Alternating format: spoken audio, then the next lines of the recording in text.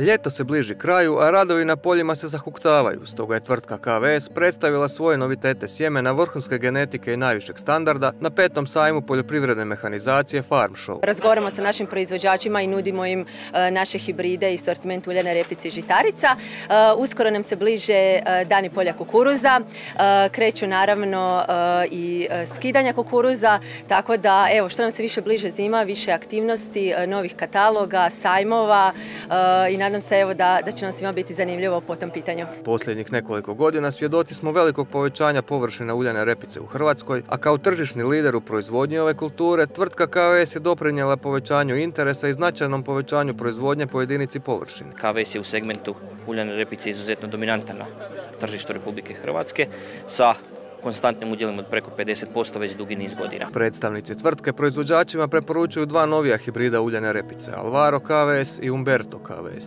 Alvaro KVS je jedan raniji hibrid koji je naslijedio jedan također rani hibrid koji je bio vrlo raširen na tržištu Republike Hrvatske, to je bio Turan.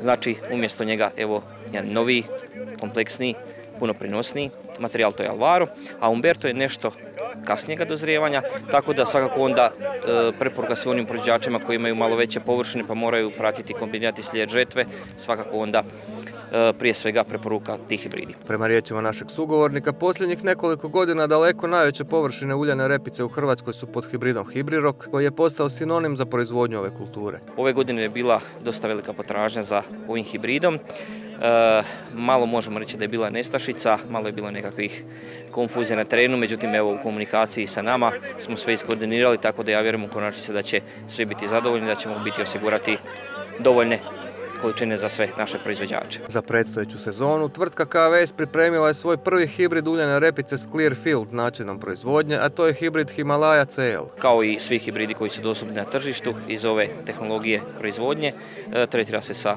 herbicidom Kleranda u količini koje preporučuju kolege iz zaštitarskih kompanija. KVS sortiment se neprestano obogaćuje novim sortama i hibridima koji prate visoke proizvodne standarde, stoga je i ove godine izdan katalog uljane repice. U kojem možete pronaći sve informacije o najnovijim hibridima, ali isto tako i ono što zanima sve naše proizvođače, a to su rezultati pokusnih površina, pokusnih parcela iz prethodne sezone gdje proizvođači onda mogu vidjeti kako se u biti pojedini hibridi ponašali na pojedinim područjima.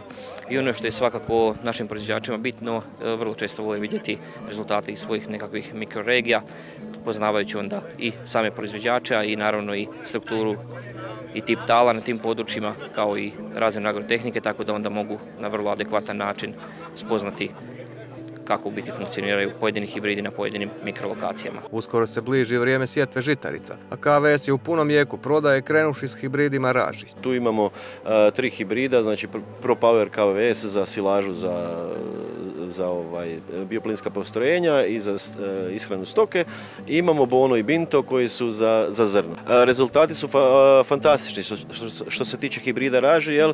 i svake godine naša prodaja raste, ljudi su, naši proizvođači sve zadovoljni. Proizvođači su zadovoljni s KVS-ovim sortama pšenice gdje su u ponudi četiri sorte koje pokrivaju spektar od prinosnih do kvalitetnih vrsta. Imamo našu sortu bazmati koja je prinosna e, pšenica gdje s njom izuzetno visoki prinosi se postižu i proteini su negdje do 12%. Jel? E, zatim imamo naš forkali gdje ide od 8,5 do 9 tona, međutim tu, tu protein ide i do, e, do, 9, e, bože, do 15%. Između 12 i 15% proteina nude sorte pšenice Farinelli i Kalisol, a u sortiment pšenice u KVS-ovoj ponudi je i sorta ozimog višerednog ječma Bazalt. Na službenoj stranici tvrtke www.kvs.hr svi proizvođači mogu doznati detaljnije informacije o KVS-ovoj ponudi.